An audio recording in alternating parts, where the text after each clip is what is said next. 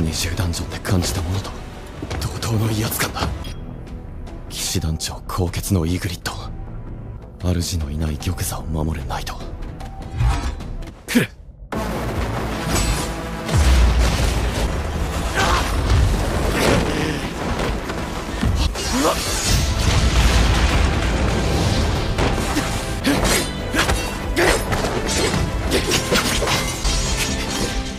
やはりダメか。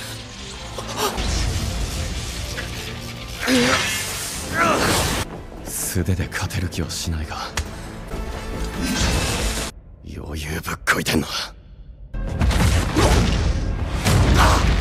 早い。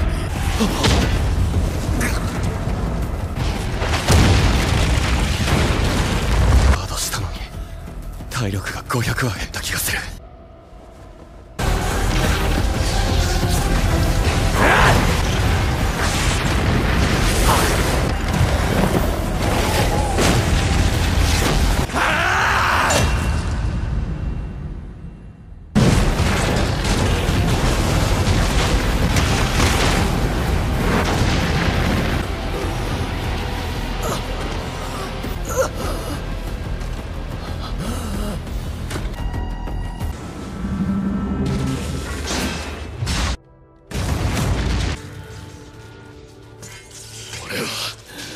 だ。負けちゃいねえ。